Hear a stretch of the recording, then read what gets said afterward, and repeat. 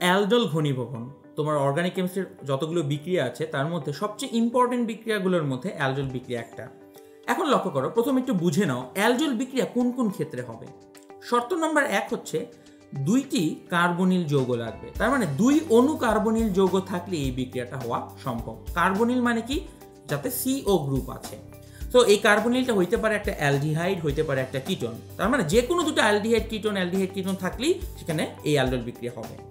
দুই নম্বর শর্ত হচ্ছে, এই দুইটা যোগের মধ্যে কমপক্ষে একটা যোগে আলফা হাইড্রোজেন থাকতে হবে। অর্থাৎ তুমি যেখানে দুইটা কার্বনিল যোগ নিবা, তার মধ্যে কমপক্ষে একজনের আলফা হাইড্রোজেন থাকতে হবে। এবং বিক্রিয়াটা হবে লঘু ক্ষারের দ্রবণ বা হাইড্রোক্সিলের দ্রবণ। এটা পটাশিয়াম হাইড্রোক্সাইড সোডিয়াম হাইড্রোক্সাইড যে কোনোটা হতে পারে। আসো আমরা একটু দেখি কীভাবে এরকম একটা বিক্রিয়া ঘটানো যায়। লক্ষ্য করো, এখানে আঁকা আছে যেটা, সেটা হচ্ছে প্রোপানেল প্রোপানেল কেন নিলাম লক্ষ্য করে দেখো, কারণ প্রোপানেলের আসলে আলফা হাইড্রোজেন আছে। আমাদের বলা আছে এখানে কমপক্ষে একটি যোগের আলফা হাইড্রোজেন লাগবে। তো প্রোপানেল, এটা আলফা, এটা হচ্ছে কার্যকরী মূলক এই কার্বনটা হচ্ছে আলফা কার্বন, এটা বিটা কার্বন। যেহেতু তার আলফা কার্বনে হাইড্রোজেনটা আছে, তো এর আলফা হাইড্রোজেন আছে। আমরা জানি আলফা হাইড্রোজেন, অর্থাৎ এই হাইড্রোজেনটা হচ্ছে অ্যাসিডিক তার মানে ক্ষারের সাথে সে বিক্রিয়া করতে ভালোবাসে। চিন্তা করো, ক্ষার হিসাবে হাইড্রোক্সিল দেওয়া হলো হাইড্রোক্সিল তার প্রেমের প্ররোচনায় এই হাইড্রোজেনকে বের করে পানি হিসাবে নিয়ে চলে আসবে। চিন্তা করে দেখো, হাইড্রোজেন যখন কার্বনকে ছেড়ে দিয়ে চলে আসবে হাইড্রোজেনকে কখন ইলেকট্রন সাথে নিয়ে যায়? না, আমরা জানি হাইড্রোজেন তড়িৎ ধনাত্মক, হাইড্রোজেন ইলেকট্রনকে নিয়ে যায় না। তো এই কার্বন হাইড্রোজেন বন্ডের ইলেকট্রনটাকে সে এইখানটাতে রেখে চলে যাবে। তাহলে কি তৈরি হবে লক্ষ্য করে দেখি? দেখো, হাইড্রোজেনকে হারিয়ে এটা হয়ে যাবে সিএইচ এটা আগের মতন সিএইচও হাইড্রোজেন ইলেকট্রনটা রেখে যাওয়া এই সিএইচ এর এখানে একটা নেগেটিভ চার্জ থাকবে। তার মানে প্রথম ধাপে এই বিক্রিয়ায় ক্ষার এসে আলফা হাইড্রোজেনটাকে বের করে নিয়ে যেয়ে একটা মাইনাস চার্জ ক্রিয়েট করে। তোমরা সবাই জানো মাইনাস চার্জগুলোকে আমরা বলে থাকি নিউক্লিওফাইল বা কেন্দ্রাকর্ষী বিকারক, অর্থাৎ যারা পজিটিভ চার্জকে ভালোবাসে। এখন সে কীভাবে পজিটিভ চার্জের সাথে বিক্রিয়া করবে সেটাই গুরুত্বপূর্ণ। লক্ষ্য করে এখানে দুটো কার্বনিল যোগের কথা বলা হচ্ছে। আমরা ব্যবহার করলাম মাত্র একটা, তার মানে আরেকটা কার্বনিল যোগ এখন বিক্রিয়া করবে। কীরকম? লক্ষ্য করো। ধরো, আরেকটা কার্বনিল যোগ হচ্ছে CH three CO CH three লক্ষ্য করো, এই কার্বনিল যৌগটা এটা থেকে আমি ডিফারেন্টও নিতে পারি, আবার এই দুইটা সেম যৌগ নিতে পারি। অর্থাৎ এইখানে যে যৌগটা নিলাম আর এটা এরা দুজন সেম যৌগ হতে পারে, এরা দুজন ডিফারেন্ট যৌগ হতে পারে, এতে কোনো সমস্যা নেই। সিএইচ থ্রির বদলে আমরা যদি এখানে এটাও নিতে পারি CH three CH two CHO এটা নিলেও আমাদের এই বিক্রিয়া হবে। সো এটাও কাজ করবে, এটাও কাজ করবে। আমার কথাটা হচ্ছে, এখানে যে দুটো কার্বনিল নেওয়া হবে, দুটো কার্বনিলকে সেম না হলেও হবে হলেও হবে। এখন লক্ষ্য করে বিক্রিয়াটা কি করবে। আমার এখানে একটা নিউক্লিয় ফাইল তৈরি হয়েছে। আমরা নিউক্লিয় ফাইলটাকে এখানে লিখি CH three CH minus CHO তার এখানে একটা মাইনাস চার্জ আছে। এই যে আমরা যোগটা এখানে নিলাম, লক্ষ্য করো, এর সুন্দর দুটা পোর্শন আছে। এই সিওর কারণে ইলেকট্রনটা এদিকে চলে যাবে। অক্সিজেনটা একটু মাইনাস চার্জের হয় কার্বনটা একটু প্লাস চার্জ বিশিষ্ট হয়। এখন লক্ষ্য করে দেখো এই যে মাইনাস চার্জটা স্বভাবতই সে এই প্লাস চার্জটার দিকে আকর্ষণ পাবে।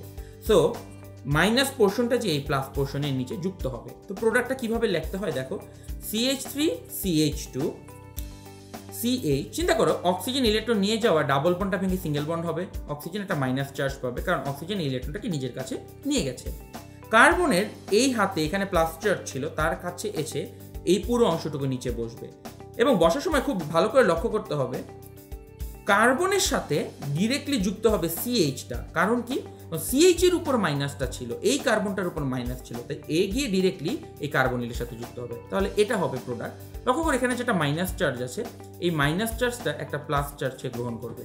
গ্রহণ করে সে আলটিমেটলি অ্যালকোহল হয়ে যাবে। সেই অ্যালকোহলটাকে যদি আমরা লিখতে চাই, সেটা হবে CH three CH two COH লক্ষ্য করো, এই যে CH three CH two C এই ও মাইনাসের জায়গায় এইচ যোগ হয়ে হলো ও এইচ কার্বনের সাথে আরেকটা হাইড্রোজেন আছে। এরপরে এই নিচের জিনিসটা এখানে চলে আসবে সিএইচ সিএইচ থ্রি সিএইচও লক্ষ্য করো, এই যে সিএইচ থ্রি এটা এখানে আসলো, এই যে সিএইচও সেটা এখানে রইল, এই যে সিএইচ এই কার্বনের সাথে যুক্ত, এই সিএইচ এই কার্বনের সাথে যুক্ত। তো আলটিমেটলি যে ফাইনাল প্রোডাক্টটা আসলো, লক্ষ্য করে দেখো, এখানে অ্যালকোহলও আছে, এখানে অ্যালডিহাইডও আছে। কিন্তু অ্যালকোহল, অ্যালডিহাইড প্রোডাক্টে একই সাথে থাকে, তাই আমরা এই জাতীয় যৌগকে বলে থাকি অ্যালডল যৌগ এবং এই পুরো বিক্রিয়াটাকে বলি অ্যালডল ঘনীভবন বিক্রিয়া। কিছু ব্যাপার একটু খোলাসা করে বলা দরকার। দুটো কার্বনিল কেন লেগেছে? একটা কার্বনিল এখানে আলফা হাইড্রোজেন দিয়ে একটা নিউক্লিয় ফাইল তৈরি করে তৈরি করে। তাহলে দুটা কার্বনিলের একটা নিউক্লিয় ফাইল তৈরি করে। দ্বিতীয় কার্বনিলটা ব্যবহৃত হয়েছে এখানে। কারণ দ্বিতীয় কার্বনিলের সিও নিউক্লিয়াস হিসাবে কাজ করেছে, যার প্লাস চার্জটা আছে। তো দ্বিতীয় কার্বনিলটাতে সে অ্যাটাক করে। কোন কি অ্যাটাক করে? প্রথম কার্বনিল থেকে যে নিউক্লিয় ফাইল আসছে। তাহলে প্রথম কার্বনিল থেকে উৎপন্ন নিউক্লিয় ফাইল দ্বিতীয় কার্বনিলে যে অ্যাটাক করে। মনে রাখতে হবে, এখানে বলা আছে কমপক্ষে একটি যোগে আলফা হাইড্রোজেন থাকতে হবে। এর কারণ কি? কারণ শুধুমাত্র প্রথম যৌগ থেকে আলফা হাইড্রোজেনটা বের হচ্ছে, দ্বিতীয় যুগে আলফা হাইড্রোজেন থাকুক আর না থাকুক, এই জায়গায় সেটা ইম্পর্টেন্ট না। কারণ এখানে আলফা হাইড্রোজেন বের হওয়ার কোনো দরকার নেই। তাহলে দুটো কার্বনিল নিব, তার মধ্যে একটাতে আলফা হাইড্রোজেন থাকলে পুরো বিক্রিয়াটা হয়।